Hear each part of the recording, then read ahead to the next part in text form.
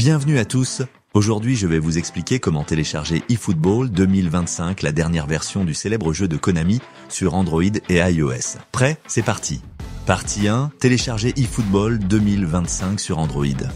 Pour télécharger eFootball 2025 sur Android, commencez par ouvrir le Google Play Store sur votre smartphone ou tablette.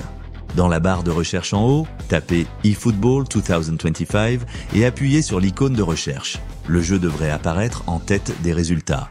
Une fois que vous voyez l'icône du jeu, appuyez sur le bouton Installer. Le téléchargement commencera automatiquement et cela peut prendre un peu de temps selon votre connexion Internet.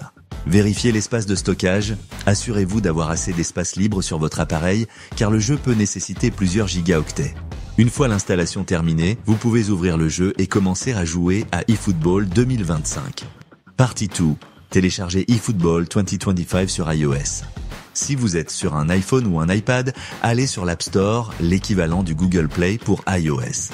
Tapez eFootball 2025 dans la barre de recherche en bas, puis appuyez sur la loupe pour rechercher le jeu. Lorsque vous trouvez eFootball 2025, cliquez sur le bouton Obtenir pour commencer le téléchargement. Vous devrez peut-être entrer votre mot de passe Apple ou utiliser Face ID pour confirmer l'installation. Le téléchargement commencera et comme pour Android, assurez-vous d'avoir suffisamment d'espace de stockage disponible. Une fois l'installation terminée, appuyez sur l'icône du jeu pour le lancer et plongez dans le monde du football numérique avec eFootball 2025 voilà, c'était tout ce qu'il vous fallait savoir pour télécharger eFootball 2025 sur Android et iOS. Profitez bien du jeu et n'hésitez pas à me dire ce que vous en pensez dans les commentaires. À bientôt pour de nouvelles astuces gaming.